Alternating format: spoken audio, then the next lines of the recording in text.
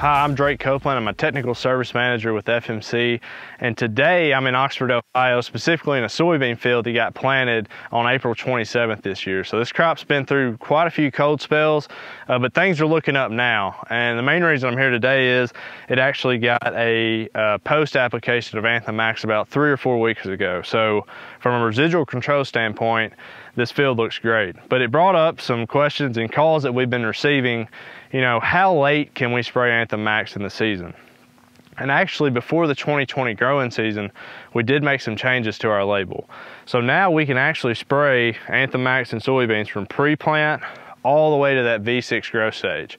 So it really makes you think about those situations if yourself or a customer of yours has wider row spacing soybeans, um, there's a lot of time until canopy closure. So he needs plenty of options to spray so we can overlap residuals for weed control.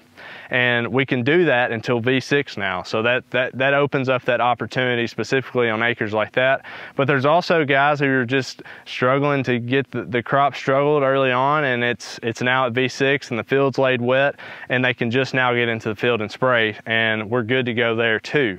Um, but it also brought up something else, that, you know, something to be cautious of. You know, we're getting into July and there's chemistries that we spray today that aid us in weed control across all the herbicide seed uh, trait platforms.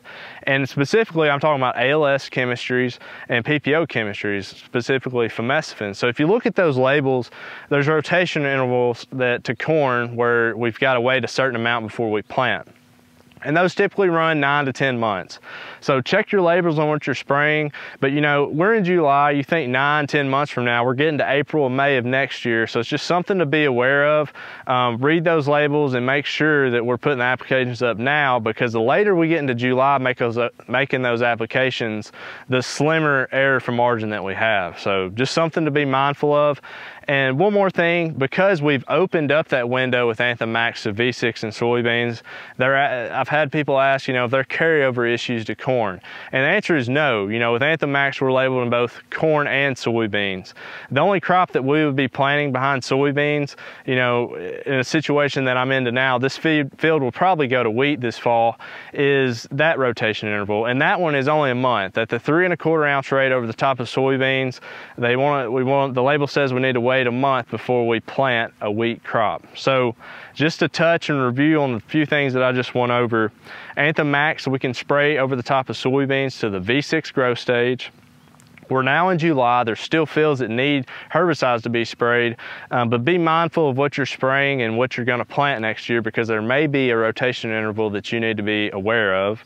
And then also with Anthem MAXX, the rotational uh, intervals, if we're talking a corn, soybean, wheat rotation, there's really no concerns. The only one is that I mentioned earlier, that month plant back to wheat. So that's all I have for today. Thank you for watching.